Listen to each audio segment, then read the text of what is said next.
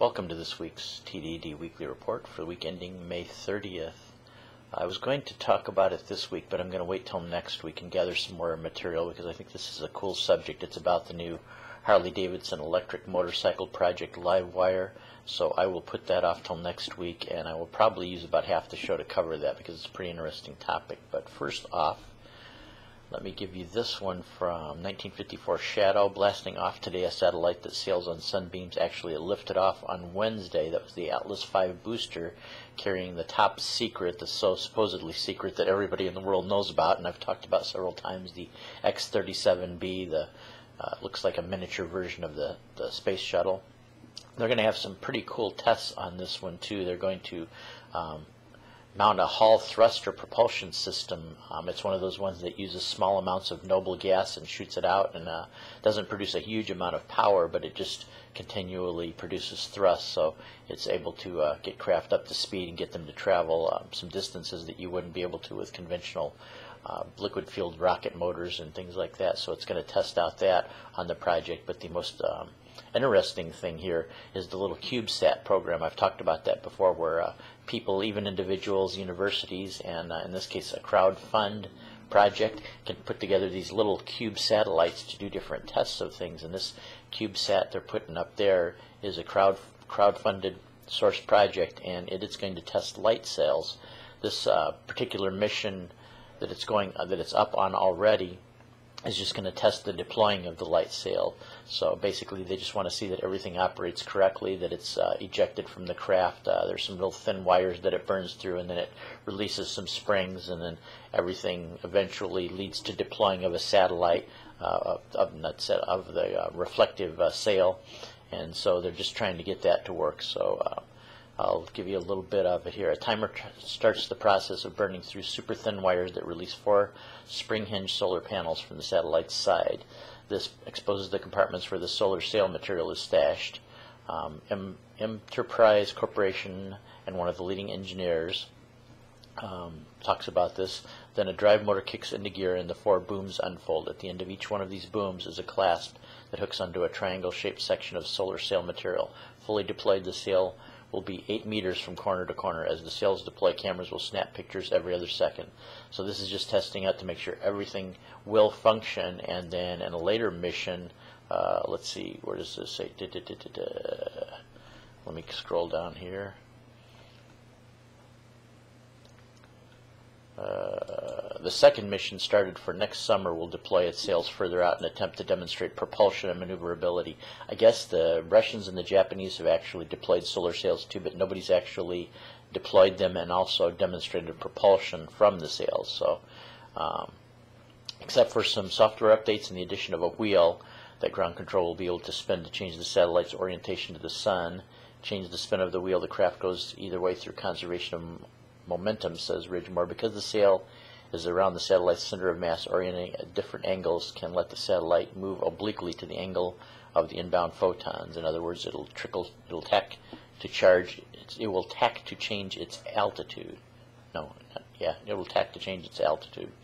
So, yeah, that's what they're doing right now. Today is a, uh, this mission is a demonstration project the next mission slated for next summer will be to actually demonstrate propulsion.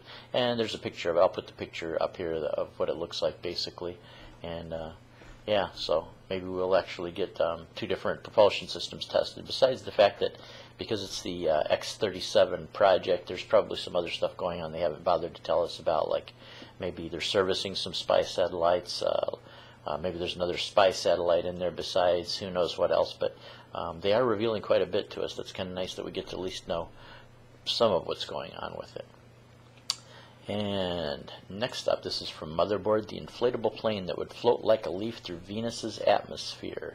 Venus is our nearest neighbor, and although the surface is an unimaginable hellscape, as a matter of fact, yeah, unimaginable, you can, uh, on the surface of Venus, you can melt lead just because of the temperatures that it is. 50 kilometers up, the weather is downright pleasant, even if the air isn't very breathable. But before we ship off colonists to live on a cloud city, we need to learn a lot about the Venusian skies. So Northrop Grumman is actually proposing these inflatable type of craft to cruise the upper atmosphere and uh, be able to get scientific data, excuse me, scientific data and testing.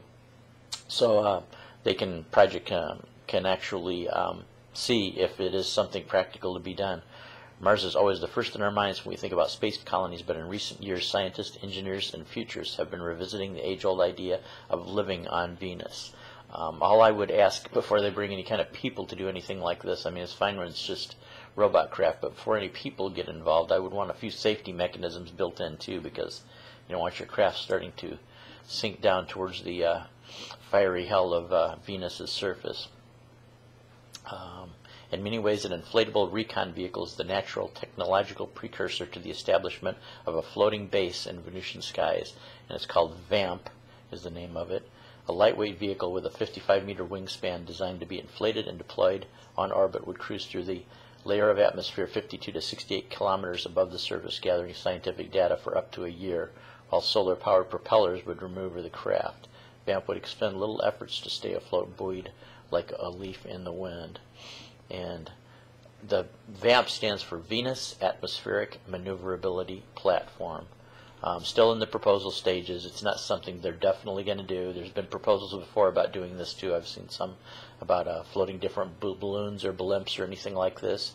Um, this is a powered craft, so um, it's possible, but who knows yet. It depends on what NASA's budget's like and uh, you know who's going to sponsor it and who's going to go for it.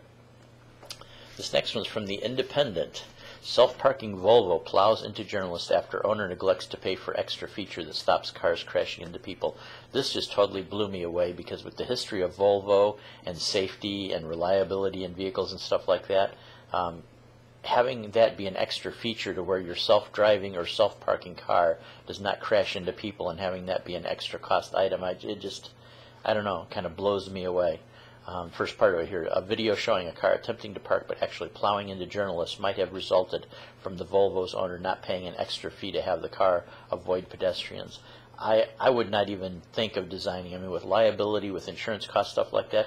Imagine trying to go before a, um, an insurance company and tell them how great and safe your car is, but say, well, um, if the owner doesn't actually buy this extra feature, though it does tend to run over people, uh, I don't think I'd want to touch that as an insurance company for anything. I think any any time you design a car that can move in any way at any speed without hands-on and somebody, a human being controlling it, it better have pedestrian detection and it better have it working really good and tested to be, you know, extremely, extremely safe.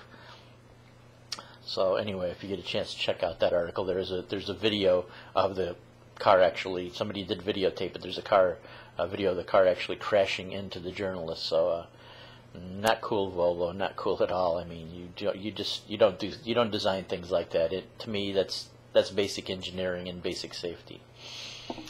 And last up, this is from my friend Harley in Taiwan, Tamas. He actually started playing a game, and he told me, "Hey Chuck, you might be interested in it. Check out this game I'm playing. It's called Kerbal Space Program."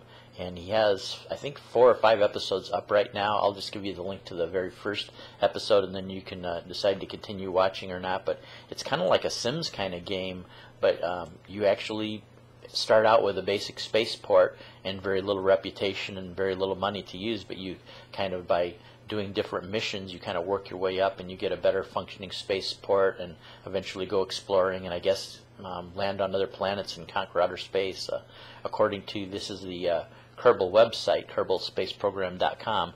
Kerbal Space Program is a game where players create and manage their own space program, build spacecraft, fly them, and try to help the Kerbals to fulfill their ultimate mission of conquering space. So, yeah, kind of a little bit like a, a Sim City kind of program, only you're just, you know, you're running one particular uh, portion of it. I, I, have already seen the first three episodes that uh, uh, Tamas did put up, and they're very interesting. It's it's just hard enough and difficult enough to be interesting, but it's not so difficult that it's overwhelming. You don't need to have a college degree. If you're uh, somebody that's graduated high school, or probably not even quite that, you can still have plenty of fun with the game. So um, it's simple enough to be fun, and uh, you just basically keep working your way up. You earn more points, you earn more science, you earn more technology. You just constantly build on what you've learned before. And uh, you make mistakes, and some of the mistakes are kind of funny too as you launch the craft if you don't um, get everything set up right. Um, something will go wrong, and then you'll have to figure out what went wrong and then correct it. But uh, nothing to me is really overwhelming. And just like uh, Tamas, a lot of other people have put up videos too, giving you hints along the way. So if you get frustrated with the program, the nice thing about it is you can watch other people's videos about how they did it and uh, get a few hints that way. But uh, cost is forty dollars. I've noticed if you do look around from time to time, you can find special deals with ten dollars off and things like that. So you don't, you know, if you're uh, looking to save a little bit of money, maybe wait until they uh, put put something on sale, or actually just I I looked around for coupon codes and stuff like that, and I think I found one place that was running a, a special. But who knows by the time you see this or not? But just uh, like I said, Google is your friend. So if you're kind of a cheapskate like me and you want to look around for a better price, um, use Google and search. But interesting, and uh, like I said, check out at least the first video and see if it's something you might enjoy. So anyway, that's about it for this week. Take care, everybody. I will catch you next week.